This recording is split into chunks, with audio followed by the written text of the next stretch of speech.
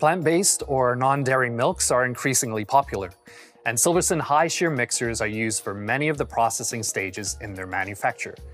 In this video, we're going to look at how to make oat milk, but the processes shown can be applied to some of the other types of plant-based milk.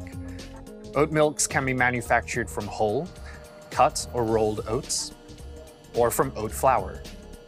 A Silverson mixer can be used for dispersion of the oats into water with a fine stator screen being used to reduce the solids down to the finest possible particle size. Depending on the manufacturing method, the mixture may be heated to around 60 degrees Celsius, that's 140 degrees Fahrenheit, to gelatinize the starch.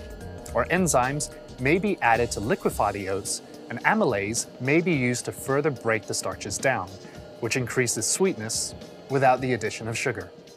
Heat treatment is used to deactivate these enzymes once the reaction is complete and to promote shelf stability. Plant oils may be added to improve mouthfeel. Again, a Silverson mixer will ensure fine dispersion of the oil into the aqueous phase. Oat milks are not naturally shelf stable.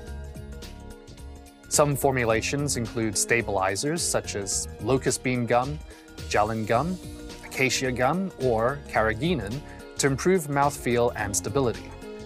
While these are difficult to disperse and hydrate with conventional mixing equipment, a Silverson mixer is ideal for this application, rapidly incorporating the powder and ensuring an agglomerate-free dispersion and maximized yield.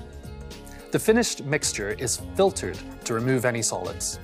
With a Silverson mixer, the fine particle size obtained reduces waste through filtration to an absolute minimum. After filtration, final processing through a high-pressure homogenizer may be carried out to ensure the fat droplets are finely dispersed so as to be undetectable in the mouthfeel. This also unifies the product to ensure stability.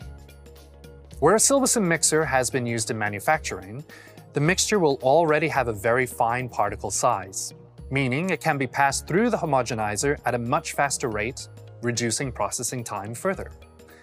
If you want to find out more about oat milk, or how a Silverson mixer can be used in manufacture of other plant-based milks, read the application report on our website or contact us today.